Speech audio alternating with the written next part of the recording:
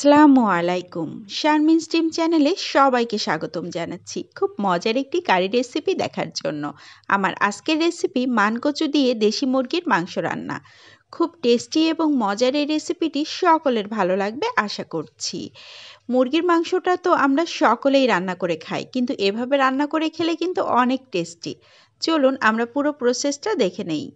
প্রথমে আমি মানকচুটাকে এইভাবে কেটে নিয়েছি। এখানে পাঁচশো গ্রামের মতো মানকচু আছে এবং একটা দেশি মুরগি আছে যার ওজন হচ্ছে এক কেজি, একটু বেশি হবে। তারপর আমি চুলাতে একটা প্যান বসিয়ে তাতে তিন টেবিল চামচের মতো তেল দিয়ে দিলাম। আমি এখানে সরিষার তেল ব্যবহার করছি। তাতে হচ্ছে যে মানকচুটাকে কেটে রেখেছিলাম সেটা দিয়ে দিলাম। এখন দিয়ে দিচ্ছি আধা চা চামচের মতো লবণ। দিয়ে দিচ্ছি আধা চা চামচের মতো হলুদ গুঁড়া। দিয়ে দিচ্ছি ধনিয়া গুঁড়া আধা চা চামচের মতো।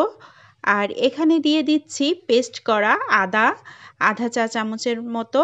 আর রসুন পেস্ট দিয়ে দিচ্ছি আধা চা চামচ। আর এখানে পেঁয়াজ পেস্ট দিয়ে দিচ্ছি আধা চা চামচ। আর দিয়ে দিচ্ছি জিরা পেস্ট আধা চা চামচ। আর এখানে এলাচ এবং দারুচিনি একসাথে ব্লেন্ড করে নিয়েছি, সেটা দিয়ে দিলাম আধা চা চামচ আর লাল মরিচ দিয়ে দিচ্ছি, এখানেও আধা চা চামচ আসলে সবগুলো মশলাই আমি আধা চা চামচ করে ব্যবহার করেছি। মাংসতে যে মশলাগুলো ব্যবহার করব, সেই মশলাগুলোই মানকচুতে আধা চা চামচ করে ব্যবহার করে মানকচুটাকে সুন্দর করে কষিয়ে নিব। আসলে একবারে মাংসের সাথে মানকচু দিয়ে রান্না করলে কিন্তু এত বেশি টেস্ট হবে না। এই কারণে আমি মানকচুটাকে আগে একটু কষিয়ে নিচ্ছি, তাহলে টেস্টটা অনেক বেশি আসবে। এখানে কিন্তু আমি খুবই অল্প পরিমাণ পানি দিয়েছিলাম। আধা কাপের মতো পানি দিয়ে এটাকে জাস্ট মানে অল্প একটু কষিয়ে নিব। মশলাটার সাথে যেন মানকচিটা সুন্দর একটা ভোনা ভোনা ভাব হয়ে আসে। যতক্ষণ পর্যন্ত পানিটা না শুকায়, ততক্ষণ পর্যন্ত খুব সুন্দর করে কষিয়ে নিতে হবে। আমার মানকচুটা কিন্তু এইটটি পারসেন্ট মতো সেদ্ধ হয়েছে। পুরোটা সেদ্ধ হয়নি। আমি এখন মুরগির মাংসটা নিয়ে নিলাম। এখানে এক কেজির একটু বেশি মুরগির মাংস আছে। প্রথমে এক চা চামচ লবণ দিয়ে দিচ্ছি, এবার এক চা চামচ হলুদ গুঁড়া দিয়ে দিচ্ছি। এবার দিয়ে দিচ্ছি ধনিয়া গুঁড়া এক চা চামচ। আর এখানে ব্যবহার করছি গরম মশলা আধা চা চামচ। আর এখন দিয়ে দিব পেস্ট করা মশলা।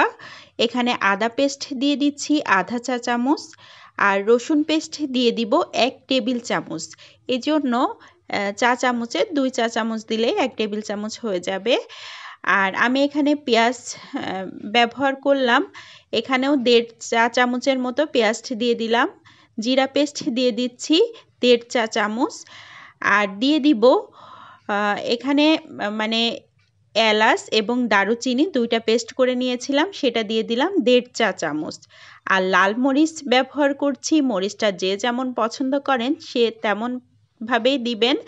আমরা একটু মরিচটা বেশি পছন্দ করি এই জন্য আমি মরিচটা দিয়ে দিলাম এক টেবিল চামচ। আর তারপর সয়াবিন তেল আমি এখানে ব্যবহার করছি না, এখানে সরিষার তেল দিয়েই রান্নাটা করব।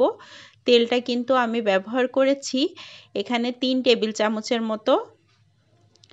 আর এ পর্যায়ে দিয়ে দিলাম দুইটা তেজপাতা, একটু মাঝখান থেকে ছিঁড়ে এবার মাংসটাকে কষিয়ে নেব। আমি কিন্তু এখানে কোনো পানি ব্যবহার করব না, কারণ মাংস থেকে অনেকটাই পানি বের হবে। এই কারণে আমি আলাদা কোনো পানি দিব না। এখন দেখা যাচ্ছে মাংস থেকে কিন্তু অনেকটাই পানি বের হয়ে গিয়েছে। এখন খুব সুন্দর করে মাংসটাকে কষিয়ে নিতে হবে। আসলে মাংসটা যত বেশি সুন্দর কষানো হবে, ততই কিন্তু টেস্টি হবে। মুরগির মাংসটা খুবই ভালোভাবে কষিয়ে নিতে হয় মশলার সাথে, তাহলে কিন্তু অনেক বেশি মজা হয়।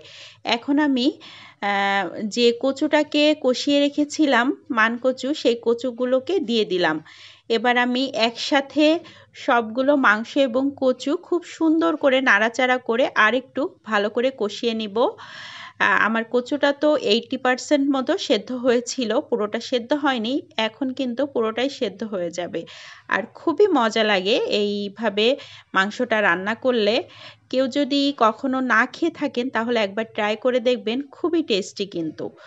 তো এখন আমি পানি দিয়ে দিলাম, এখানে আমি তিন মগের মতো পানি দিয়েছি। আর কচুটা আসলে যেমন মানে শক্ত কিংবা নরম এর উপর ভিত্তি করেই পানিটা দিতে হবে। তো আমি সেইভাবে আমার পানিটা দিয়েছি।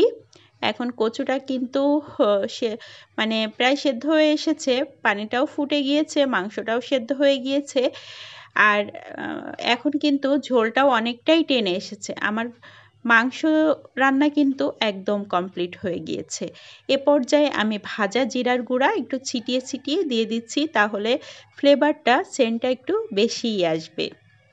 তো আমার আজকের রেসিপি কেমন লাগল সবাই অবশ্যই লাইক ও কমেন্টের মাধ্যমে অবশ্যই জানাবেন।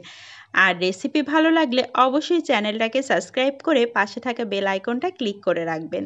তাহলে আমি যখনই কোনো ভিডিও আপলোড দিব, তখনই আপনারা নোটিফিকেশন আকারে পেয়ে যাবেন ইনশাল্লাহ।